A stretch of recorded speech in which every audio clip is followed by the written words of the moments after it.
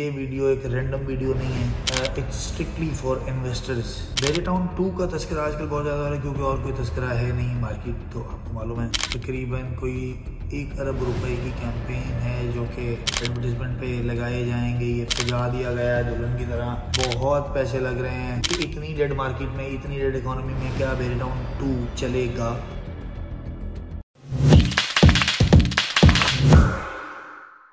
Guys मैं अब्दुल्ला खान, अमीर आदमी के प्लेटफॉर्म से, अमीर आदमी real estate Bahria Town Karachi Bahria Town two का तस्करा आजकल बहुत ज़्यादा हो रहा है क्योंकि और कोई तस्करा है नहीं मार्केट तो आपको मालूम है। सिर्फ़ एक तस्करा है, वो है बहरे टाउन टू इतलात के मुताबिक तकरीबन कोई एक अरब रुपए की कैंपेन है जो कि एडवर्टीजमेंट पे लगाए जाएँगे, ये पैसे टू रीच मैक्सिमम पीपल अपना मैसेज मैक्सिमम लोगों तक पहुँचाने के लिए बेरटाउन कराची बेरटाउन लाहौर पिंडी जहाँ जहाँ पे बेरटाउन जाना जाता है, वहाँ पर सजा दिया गया है दुल्हन की तरह। बहुत पैसे लग रहे हैं। सिर्फ़ एक ही ज़िक्र है कि बेरे टाउन कराची में क्या होगा, कैसे होगा, क्या आ रहा है, क्या नहीं आ रहा। है अच्छा और ये वीडियो मैं आपको मुतनबे करते चलूँ।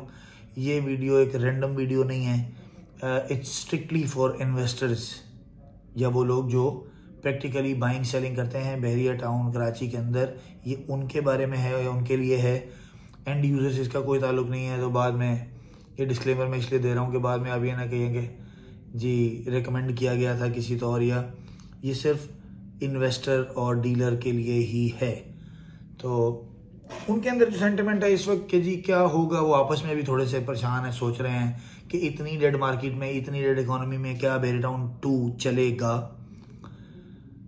मेरी परसेप्शन ये कहती है कि जितनी ज़्यादा हाइप क्रिएट की जा रही है, सिर्फ़ पूरे पाकिस्तान में अगर किसी सोसाइटी का ज़िक्र होगा अगले एक दो हफ़्ते में तो सिर्फ़ बहरे टाउन कराची होगी। आप देखते हो न्यूज़ मीडिया चैनल्स पे और इधर एडवर्टीजमेंट पे अखबारों में आपको रैंडम सोसाइटीज़ के ऐड नज़र आते हैं।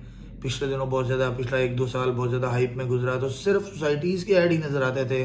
बिल्डिंग्स फलानी बिल्डिंग फलाना सोसाइटी फलानी रेजिडेंसी लॉन्च कर दी गई। लेकिन अगले दो से पाँच महीने छः महीने अगर किसी सोसाइटी का ज़िक्र होगा तो that is Bahria Town Karachi two जिसको hashtag B T K two के साथ आप याद करेंगे, जानेंगे। इसको, इस सारी एडवर्टाइजमेंट को, इसकी पॉजिटिविटी में को इन्हेंस करने के लिए नेगेटिविटी क्या है? वो हमने बहुत दफ़ा बात कर ली, मुझसे छोड़ दें, हम इस वक्त कुछ और बात कर रहे हैं। इन्हेंस करने के लिए जो बेहतर पॉइंट्स हैं वो ये हैं कि Bahria is determined to deliver as they have already constructed developed काफ़ी सारी लैंड डेवलप कर दी है।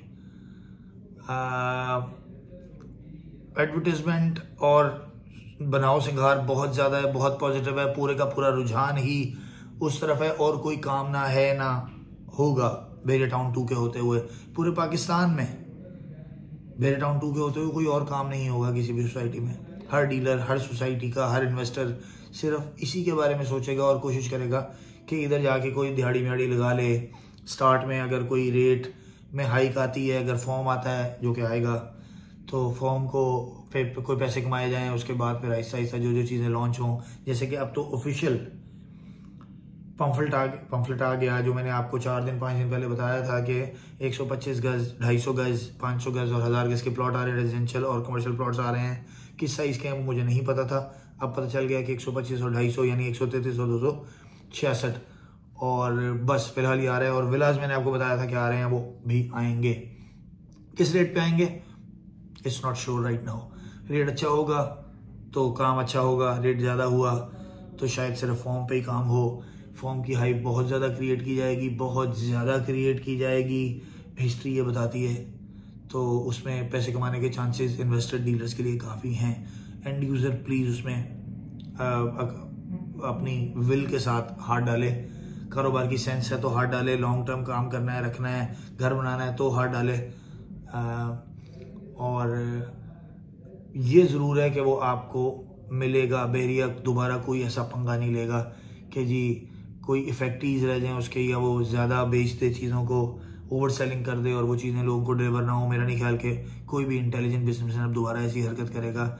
बहुत ज़्यादा लैशबैक ऑलरेडी सहा है बहरिया ने और अभी तक चल रहा है।